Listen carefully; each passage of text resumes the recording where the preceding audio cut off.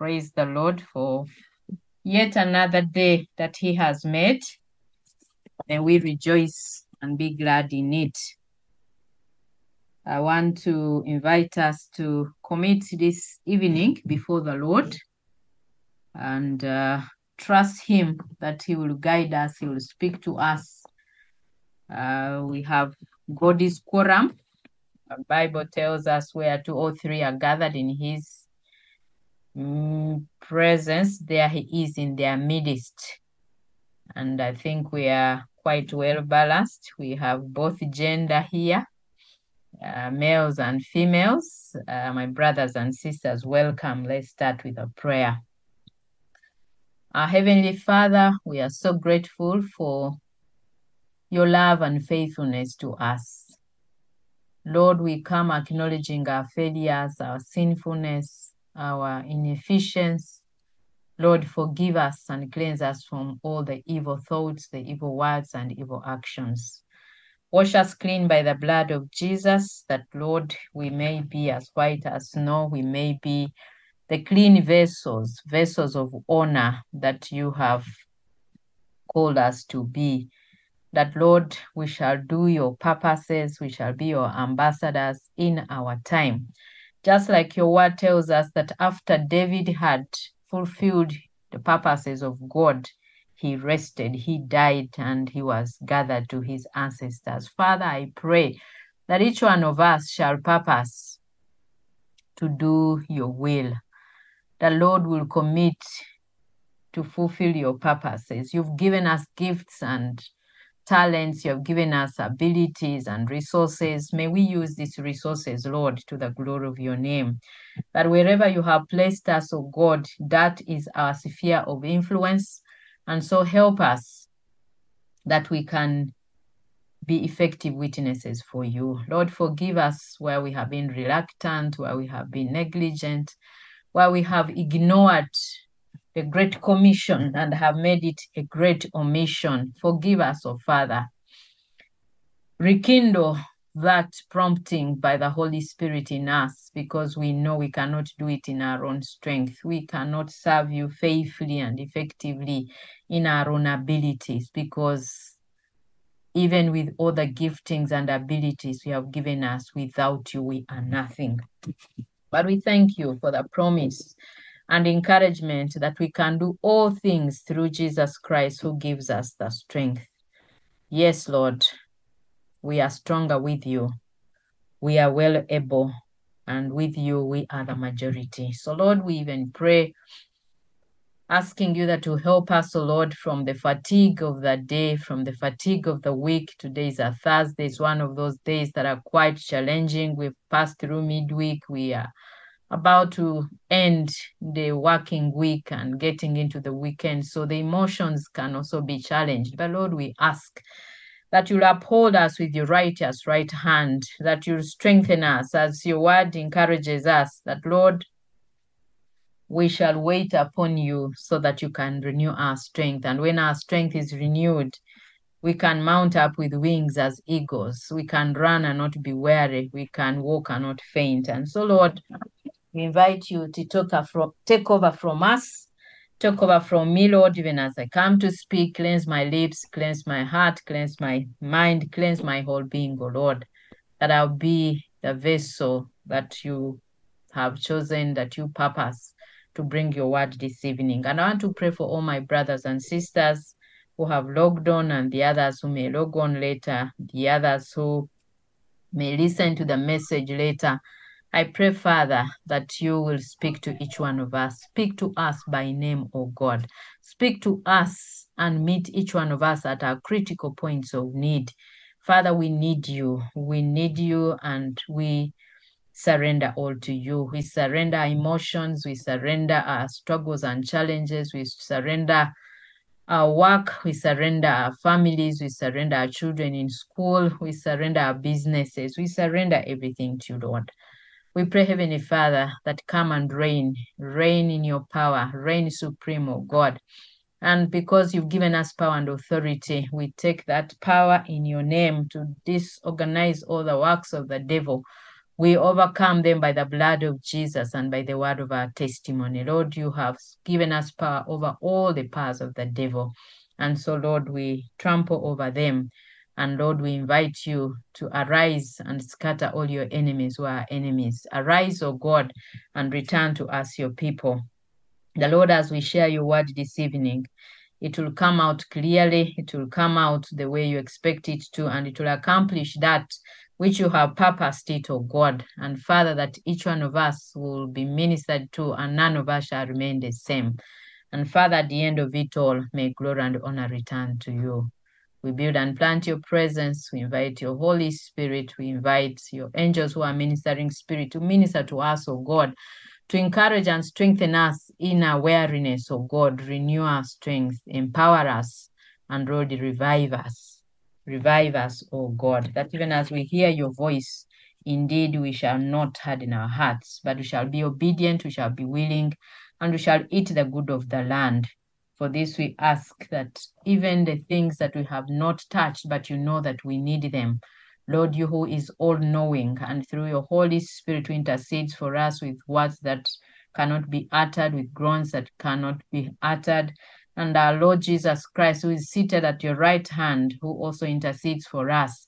The Lord, our request shall be made known to you. And so, Lord, may the words of my mouth and meditations of my heart be acceptable to you, my Lord and my Redeemer, through Jesus Christ, our Lord and our Savior. Amen. So, our topic this evening is if you hear his voice, don't harden your hearts.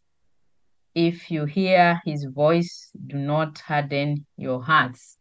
As we know, we are focusing on the voice of God, and we have already had uh, different sessions about the voice of God. And so, as we look at if you hear his voice, do not harden your hearts. I want to invite us to read from Hebrews chapter 4, verse 1 to 11. Hebrews 4, 1 to 11. The particular phrase comes from verse 7, but uh, let's read in context so that we can understand more. And as we read, uh, the heading in many uh, versions of the Bible is about the promised rest for God's people. Uh, so we are looking at hearing the voice of God, not hardening our hearts, so that we can be able to have the promised rest as people of God who are obedient. And as we do this, I welcome you once again. Uh, we want to thank God for the new month. We want to thank Him that we're in the last quarter of the year. We thank Him for all that He has carried us through from January to date, October the 5th. And uh, we thank God that He has done many things amongst us. And we rejoice with those who rejoice, but also we empathize with those that are having challenges and struggles. And my prayer is that God will continue to minister to each one of us because He is able to do much more than we can ask or even imagine. Uh, so let's read Hebrews 4 1 to 11. Uh, the word of the Lord says, God's promise of entering his rest still stands. So we ought to tremble with fear that some of you might fail to experience it. For this good news that God has prepared this rest has been announced to us, just as it was to them.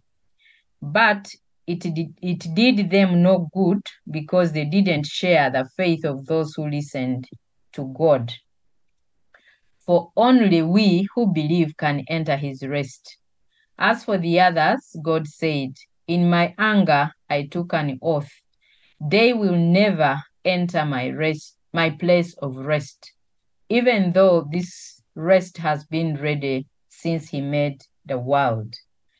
We know it is ready because of the place in the scriptures where it mentions the seventh day. On the seventh day, God rested from all his work. But in the other passage, God said, They will never enter my rest. They will never enter my place of rest. So God's rest is there for people to enter. But those who first heard this good news failed to enter because they disobeyed God. So God set another time for entering his rest, and that time is today. God announced this through David much later in the words already quoted. Today, when you hear his voice, don't harden your hearts. Now, if Joshua had succeeded in giving them this rest, God would not have spoken about another day of rest still to come. So there is a special rest still waiting for the people of God. For all who have entered into God's rest have rested from their labors, just as God did after creating the world. So let us do our best to enter that rest. But if we disobey God, as the people of Israel did, we will fall. This is the word of the Lord. So we see from the scripture already talking about the passage, the phrase, our topic, if you hear his voice, do not harden your heart or your hearts. In plural, in hearts, but as individual hearts.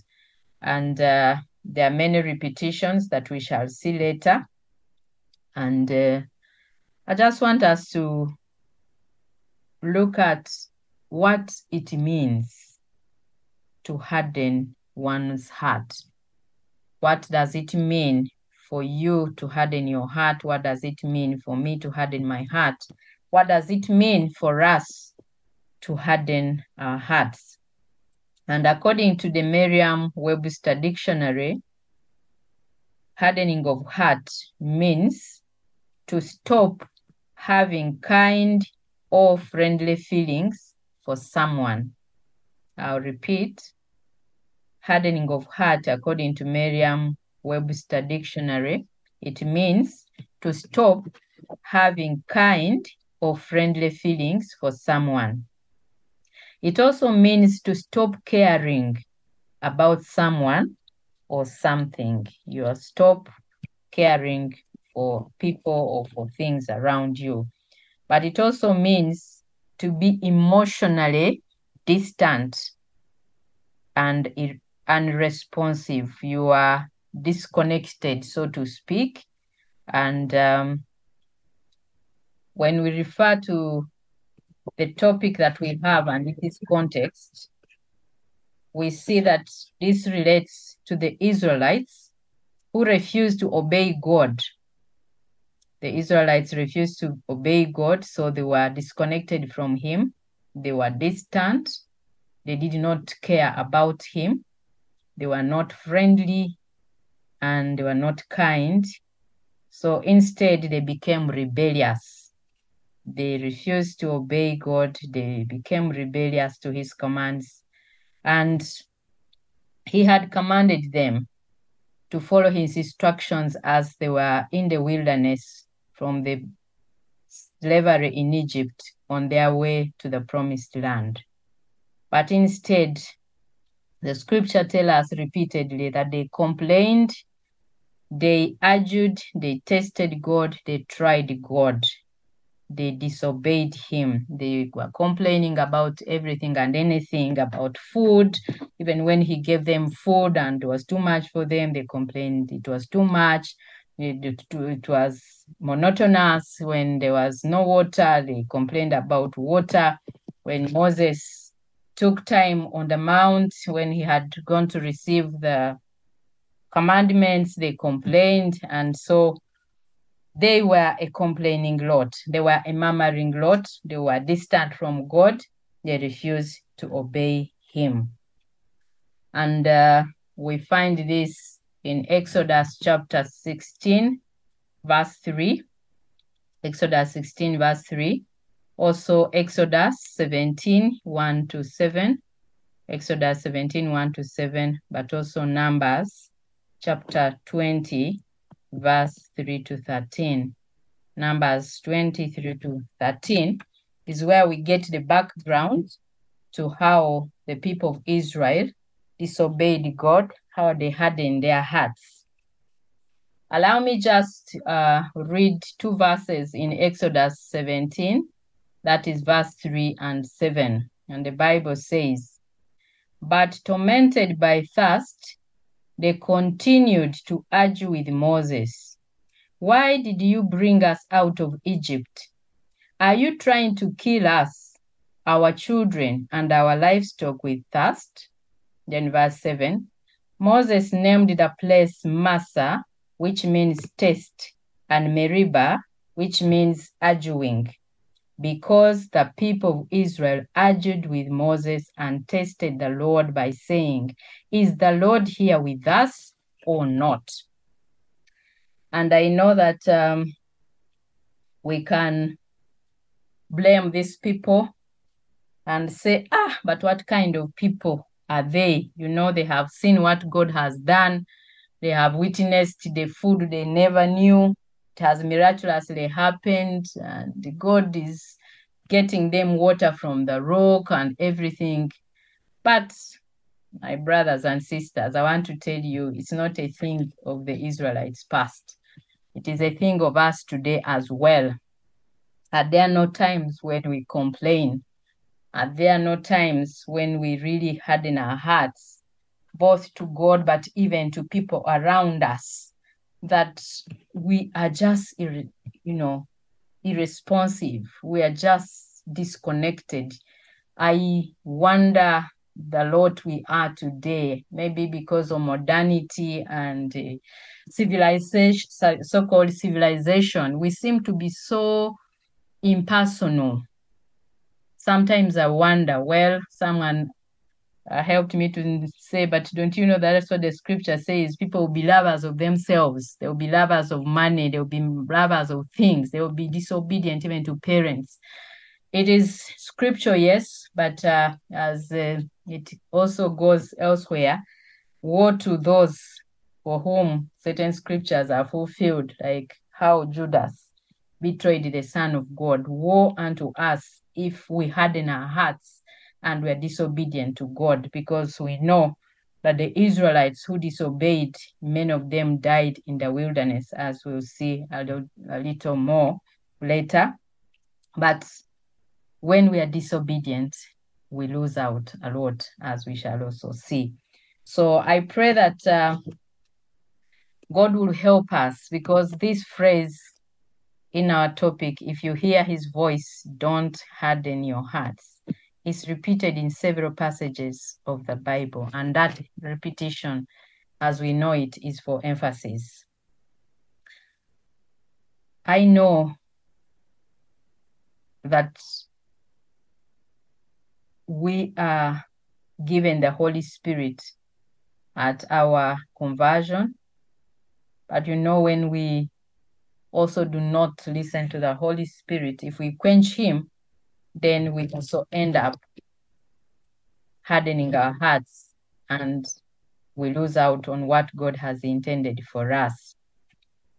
So, as we look at what this phrase actually means, uh, going back to verse 4 of, I mean, verse 7 of Hebrews chapter 4, especially in the New International Version, the scripture says, God again set a certain day, calling it today.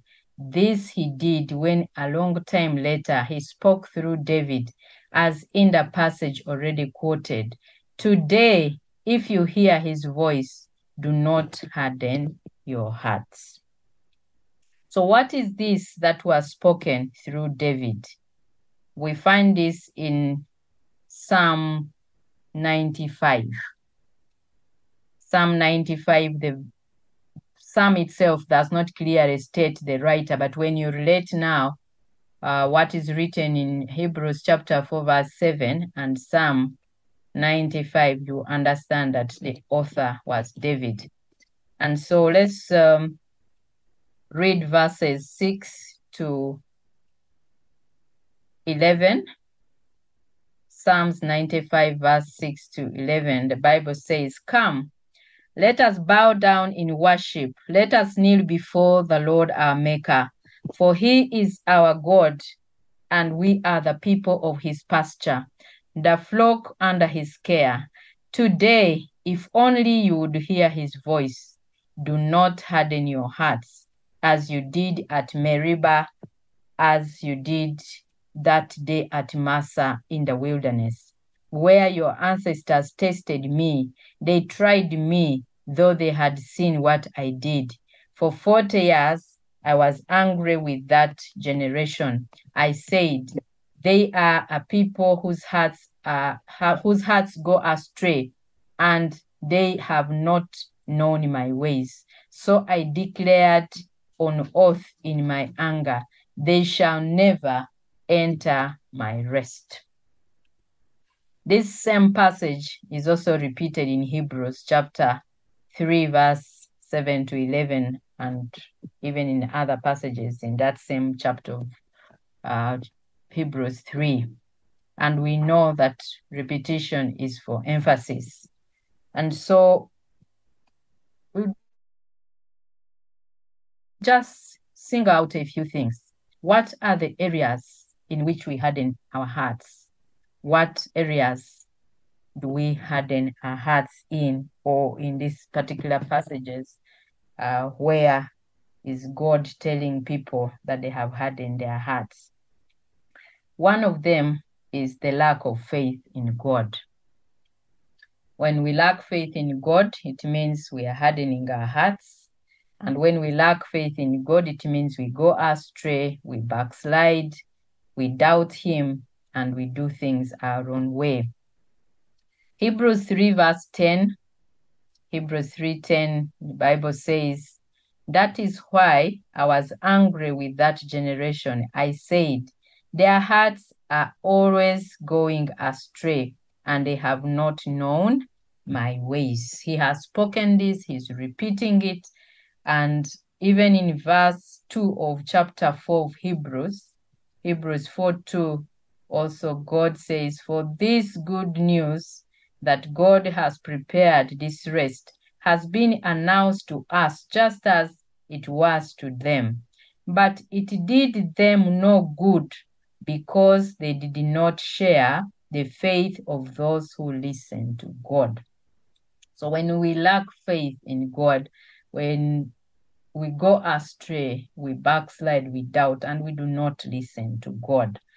We know very well that the Israelites in Moses' time, Moses, the servant of God, they knew about God, but they did not have faith in him. They did not trust him. They saw the miracles God performed, but they did not care about him. They hardened their hearts about God. They did not have a personal relationship with him. And as I mentioned earlier, this is not only a problem in the Israeli community then, it is still a problem today. We know that unbelief prevented them from entering the promised land, and we too can be prevented from entering the peace of God, accessing His grace and getting the gift of salvation because the Bible tells us in Ephesians chapter 2, verse 8 and 9, Ephesians 2, 8 and 9, I'll paraphrase, that we are saved by grace through faith. It is the grace of God, is not our works that no one should boast. For instance, we can boast by being very good Anglicans or good Pentecostals or good, I do not know what. But that does not help us at all. What matters is our faith in God. So we may claim to know God, but prophet Isaiah in Isaiah chapter 29, verse 13, Isaiah 29, 13, and Jesus Christ in Matthew 15, 8 to 9, Matthew 15, 8 to 9, they both say that these people honor God with their lips, but their hearts are far from Him. We might be trying to honor God, my brothers and sisters, but we need to be careful that we are not simply offering lip service, that we are not simply being religious. We are not just attending services, fellowships, and meetings like this when our actions are contrary. That means that we need to have a constant commitment to God, our faith in God by accepting the gift of salvation, by recommitting to Him, and continuously repenting so that we affirm our faith in God. For we know that it's only through Jesus Christ and His shed blood that we can be saved. And that this salvation, Jesus Himself said that because of the increase of iniquity, because evil shall increase, many people's love for God will grow cold. But He counsels us that only those who hold firm to the end will be saved. Yes, thank you if you have accepted Jesus Christ as your Lord and Savior. But yes, we may say, ah, I did it is enough. You have to work at your salvation with fear and trembling, as we are also cautioned by St. Paul in Philippians chapter 2, verse 12. Let's work at our salvation with fear and trembling. Let's continue to have faith in God and check ourselves so that we do not be like those who harden their hearts. For in Hebrews chapter 4, verse 1, the Bible has told us, Therefore, since the promise of entering his rest still stands, let us be careful that none of you be found to have fallen short of it. Let us be careful that none of us are found to have fallen short of entering that rest of God, the promise of God of eternal rest, which begins here on earth after we have accepted Jesus Christ as Lord and Savior, when we have peace with Him, but also is for eternity. He affirms to us in verse 3 of chapter 4 of Hebrews, chapter 4, verse 3 of Hebrews, part A, he says, For only we who believe can enter his rest. Only those who believe and continue to believe.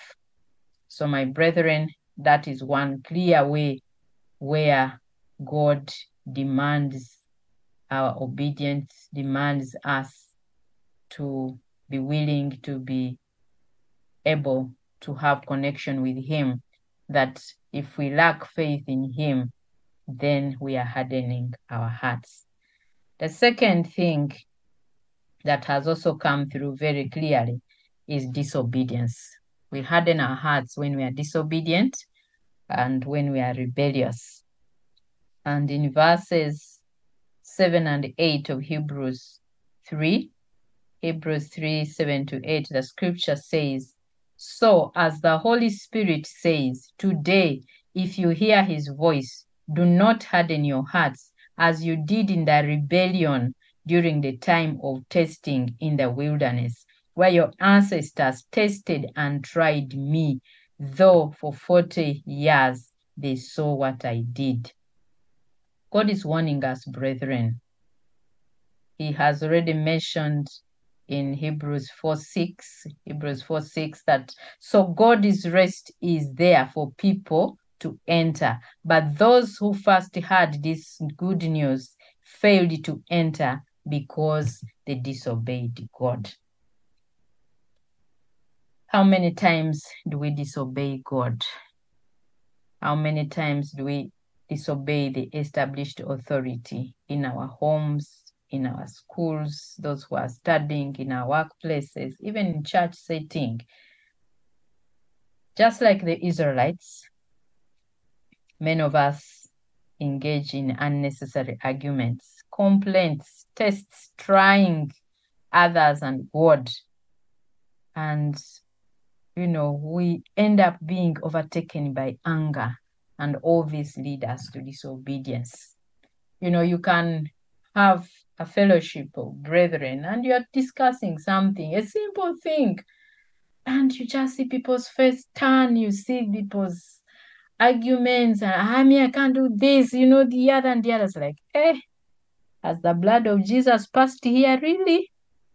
You know, we while growing up, we used to have this saying that if for the brethren who whose lives don't seem to be transformed, it looks like the blood of Jesus really They, they did not bathe in it. They did not wash their clothes in the blood of Jesus. So he said, Ah, the blood of Jesus has not touched these ones. Let us be reminded, my brothers and sisters, that Moses and Aaron, who were the leaders of the Israelites from Israel, I mean from Egypt to, Is- to, to Israel or to the promised land, were people like us. They did their best, so to speak. Uh, recently, by the grace of God, I went back to Egypt and Israel. And uh, from our own experiences as a team who are traveling, I could identify clearly with these people, with Moses and Aaron, that there are many complaints, there are many arguments, there are many ways of disobedience and rebellion. And we know that both Aaron and Moses missed the promised land. I reached a point and asked God that if it's not your will, Lord, let me not go on this trip. But I think it was His will. He wanted me to have another encounter. And it can be so challenging. Moses had this anger challenge. You remember that when he came from the mountain and the people had started worshiping idols, he just had to break the two stone tablets that contained the Ten Commandments.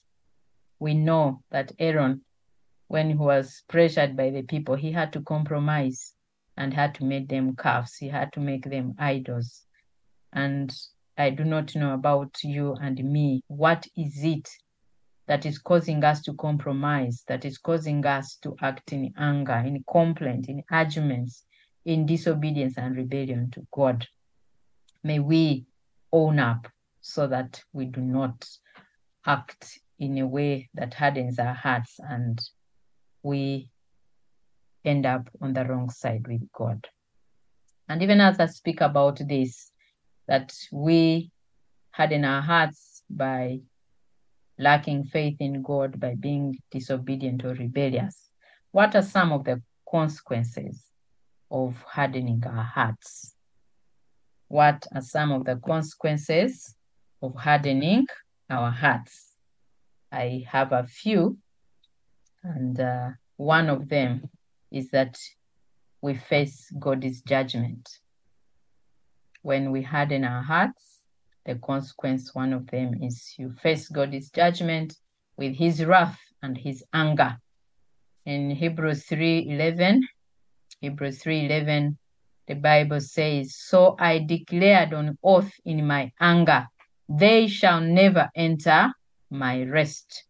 And still in Hebrews 4:5, Hebrews 4:5, we are told the scripture says, but in the other passage, God said, They will never enter my place of rest. So they were judged, and God acted in his anger. And as we may remember, the Bible tells us that it is a fearful thing, it is a terrifying thing, it's a horrible thing to fall in the hands of the living God. It's terrible for us to be found on the wrong side of God, leave alone the people here on earth. Let's be careful that we do not face the judgment. And uh, we know that the generation of the elders, those who did not believe in God, they missed out on the promised land, including Moses and Aaron, as we've shared earlier all the elders, they had to die in the wilderness. God had to take them around for a whole 40 years. We are told it could have taken a very short time, but He did it so that all those who did not believe in Him were punished and they missed out on the promised land. And uh, we know this promised land is physical, but if we are not careful, we will also be judged for eternal separation from God we will miss out on heaven. We will end up in hell. And I pray and hope that none of us is desirous to go that side. We may not pay attention and just live far, as people say. But when you live with eternity in mind, we shall pay attention and may God help us so that we do not face his judgment. Secondly, the other consequence is that we miss out on the blessings of God. Many of the blessings of God are for those who obey. And in Numbers 20, verse 12, Numbers 20, 12, the Bible says, But the Lord said to Moses and Aaron, Because you did not trust me enough to demonstrate my holiness to the people of Israel, you will not lead them into the land I am giving them. They only saw the land, but they never stepped in it. We too need to be very careful, as cautioned in Hebrews 4:11.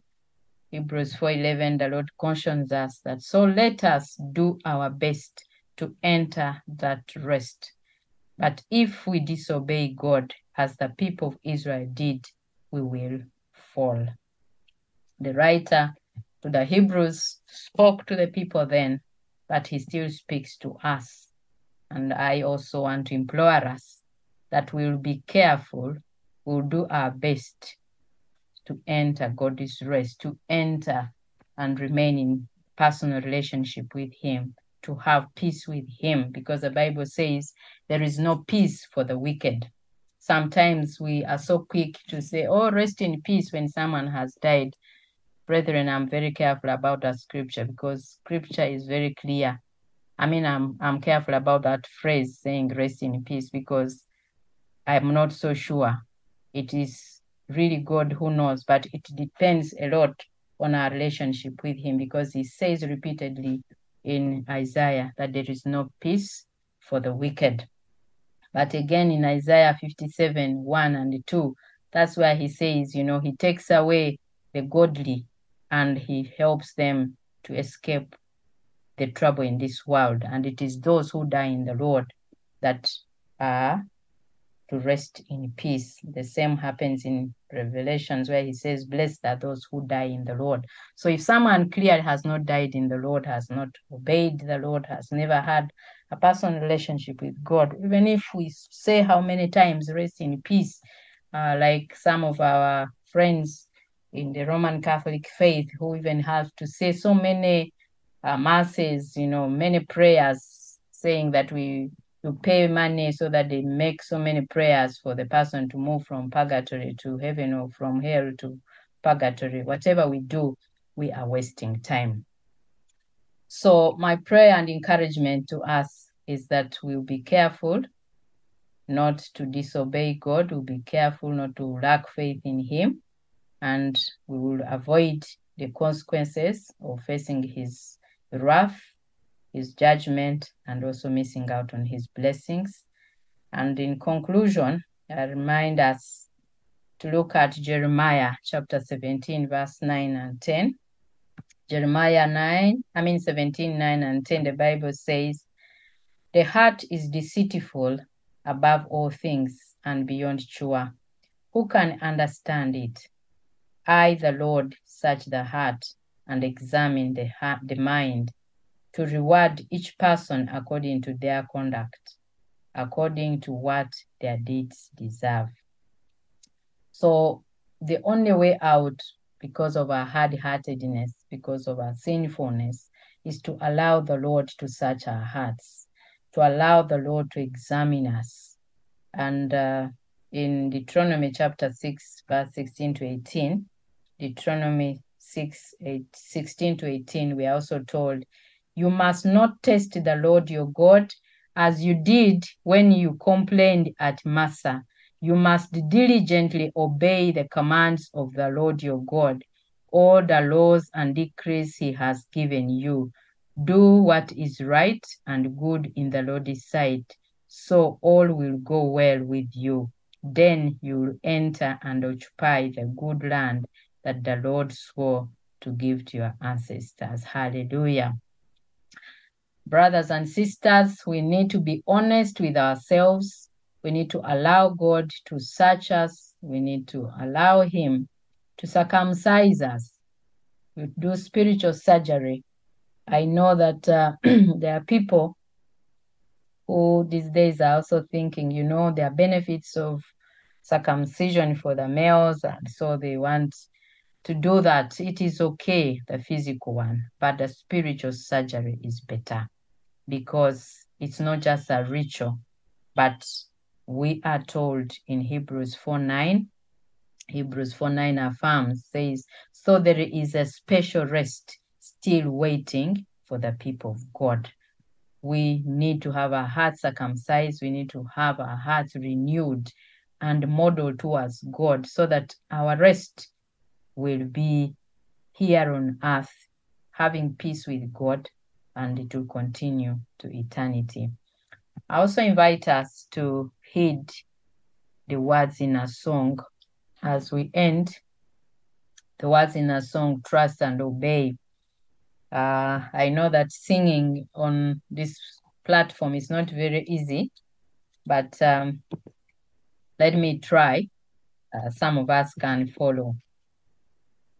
When we walk with the Lord in the light of His word, what a glory He sheds on our way. While we do His good will, He abides with us still and with all who will trust and obey. Trust and obey, for there's no other way to be happy in Jesus but to trust and obey. We'll go to the last stanza. Then in fellowship sweet, we will sit at his feet, oh, or will walk by his side in the way. What he says we will do, where he sends we will go. Never fear, only trust and obey. It's my prayer that you and me will continually walk with the Lord in the light of His Word, continually dwell in His Word, glean on the Word of God, that we'll enjoy His glory, that we will be willing to do His good will, that He will abide with us always as we trust and obey. For there is no other way to be happy in Jesus but to trust and obey. So let's be obedient and not harden our hearts, that we can have the sweet fellowship with Him as we sit at His feet to be taught by Him, to learn from Him in prayer, that the Holy Spirit will continue to minister to us and will walk side by side with Him always, that we'll always do what He says and will go where he sends us. As I mentioned, sometimes we have made a great commission a great omission, but may we seek for revival. May we learn to get back to do what God wants us to do so that we'll not fear anything, not even fear hell or, et- or eternal suffering, but we'll know that when we trust and obey the Lord, we'll enjoy his benefits. You may be here, brother, sister, Maybe you have never known the Lord or you'll listen to this message later. I ask that the Lord will prompt you to be able to listen to Him, to be able to yield to the prompting of the Holy Spirit. The Spirit of God convicts us of sin, of righteousness, and judgment so that we may come to the knowledge of the truth. He does not want anyone, God does not want anyone to die in their sins but his desire is that all may be saved. But you may also be there, and for one reason or the other, you have slidden off, you have fallen back, you have gone astray. I pray that the Lord will still prompt you, that you will be able to return to the Lord. Trust and obey Him, for there is no other way to be happy than to obey, than to trust Him, that our faith shall remain on Him even us who are consistent with the Lord, in one way or the other, we have fallen short. We are weak. I pray that the Lord will help us to be strengthened this evening, that we'll choose to commit, not to harden our hearts, but to listen, to be willing, to have faith in the Lord, to obey Him, so that we enjoy all His blessings. May we pray as we conclude. Heavenly Father, we thank you so much for speaking to me and speaking through me to your people. Lord, I pray that you'll continue to challenge us to be the kind of people that you want us to be, that will not be like the Israelites who wasted in the wilderness, who will not be like Moses, whom you told to speak to the rock, and in his anger he had to strike it, will not be like Aaron, who had to make calves for the people to worship as though they are gods. Lord, we have made many idols in our own lives. We have disobeyed you in many ways. I pray that, Lord, you'll have mercy upon me. You'll have mercy upon my brothers and sisters. You'll have mercy upon our people, oh God. The Lord, you'll guide us by your Spirit, that He will continually, as He continually prompts us, as He continually convicts us, that we shall yield, O God. We shall not harden our hearts, but we shall be willing. We shall be able to repent. The Lord, we shall obtain mercy and find grace to help us in our times of need. Even as we have shared your word, Lord, where things have gone well, may glory and honor return to you. Where there's anything that has been of error, I ask that you forgive me, Lord, and cleanse me. And empower us, O Lord God, to continue to be your faithful servants to the glory and honor of your name. It's in Jesus' name that we pray with thanksgiving. Amen. We thank you, thank you, Reverend Betty, our own, for the wonderful sharing. I apologize. Uh, I start with apologizing. My network was not okay at the beginning, and I really pray, ask you all the all saints family to forgive me. But now, I, later, it logged on. And once again, thank you, Reverend Betty, for sharing that wonderful sermon about hearing the voice of the Lord and not hardening our hearts. And uh, and uh, just let me conclude also in just the, the final prayer, and we, we close. Uh, Father, we thank you for your goodness. We thank you for your kindness. We thank you for that you love us, that you you you sent because because you love us, you sent your only son. You went all the way to send your son Jesus Christ to die for us on the cross that we may be redeemed, that the human nature we may be redeemed. Lord, in John 15, Jesus said, My sheep hear my voice. I pray that you help us to hear your voice. I pray that you teach us to hear your voice. Lord, we come, Lord, we come in repentance uh, where we have disobeyed in uh, walked in disobedience, where we have lacked faith, Lord, in trusting you, and we have ended into grumbling and complaining, just like the Israelites did.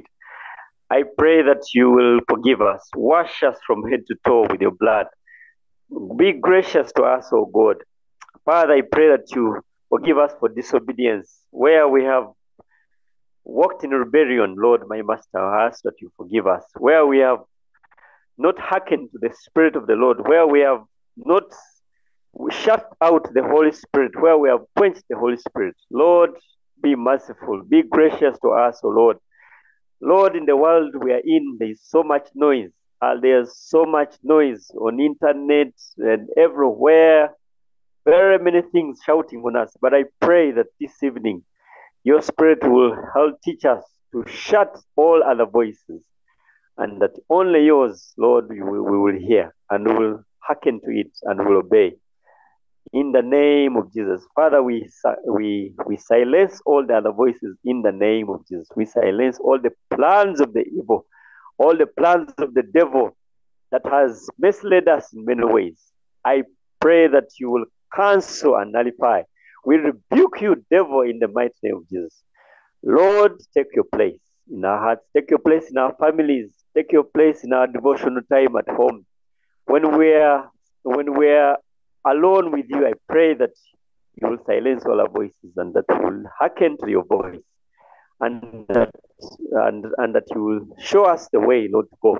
For you all, for Lord, we know that you alone are the Alpha and Omega. You know the everything, the beginning from the end, and you have good plans for us. For those who trust you, all those finally, Lord, we pray for those who don't know you, who have never believed you as their Lord and Savior, that you will touch their hearts. You'll draw them to yourself. That that voice, that Holy Spirit will continue knocking at their doors, that they will open their voice to this evening, that they will respond to your voice and they will come to the Lord Jesus Christ. They will accept the Lord Jesus Christ as, as their Lord and they will join this, this heavenly camp, this heavenly kingdom uh, generation that, that serves you, Lord. And Lord, also finally bless Reverend Betty, who uh, Mwandha, who has availed herself to, who has shared those wonderful words. Thank you for using your servant, our dear Reverend. Bless her and the family, and uh, bless. The day glory and honor go back to you. In Jesus' name, we pray and believe. Amen. Amen. May the Lord bless you. May the Lord Amen. bless everyone.